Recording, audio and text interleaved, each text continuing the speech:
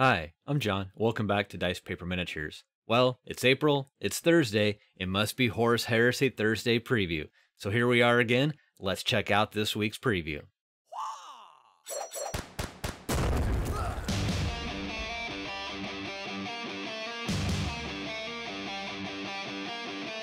Okay, so for this week's preview, we start off with the never before seen plastic Praetor. All right, so let's check it out.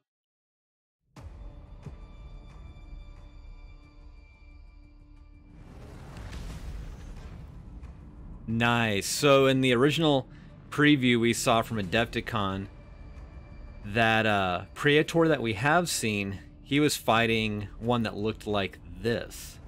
So that's really cool. I wonder if both kits can make this model. Or if these are two separate kits altogether.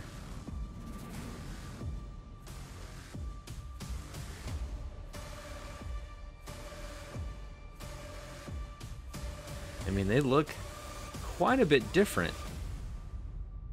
Yeah, those are probably two separate kits altogether.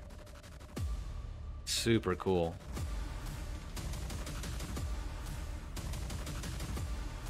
Yeah, these look great.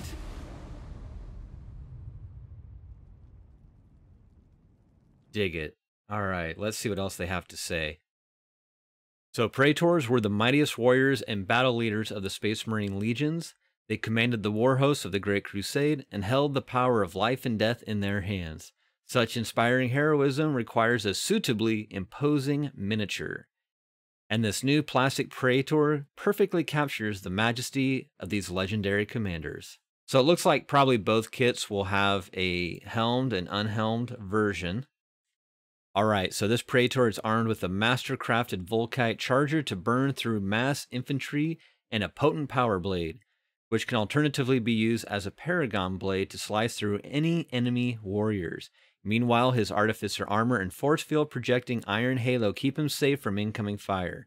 His cape offers no such battlefield benefits, but it is both fashionable and practical, should he ever find himself needing to look cool on a windswept rocky outcrop. You know, they should just put in like parentheses tactical rock. All right.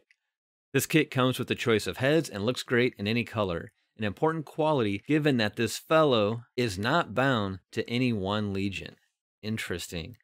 Man, the design details on this model are super solid.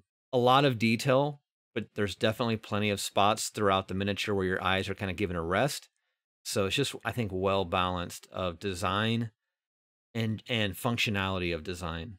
The new Praetor will look great leading your Mark 6 Legionary Tactical Squad into battle. We've still got plenty more awesome new miniatures to show you for Warhammer, the Horus Heresy, every Thursday. All right, so that's it for this one. Very, very cool design, as I was saying. I dig they still worked in that crest, even though he's helmetless. So it's kind of helm, but kind of not.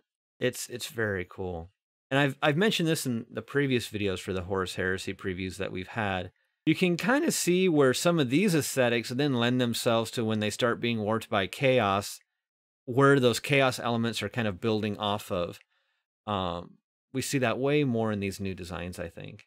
But then conversely, we lose some of that uh, regal quality to them as we move forward into like the 41st millennium. So, you know, from 30K to 40K, definitely felt more regal so to speak, in that 30K environment. Yeah, these are fantastic. What do you all think? Do you think this week's preview hit the spot? Love to hear your comments below. And if you haven't yet and you enjoyed this content, please consider subscribing and hitting that notification bell. It's greatly appreciated and really helps with the growth of the channel. Well, as always, take care, be safe, and I'll see you all again soon. Bye bye.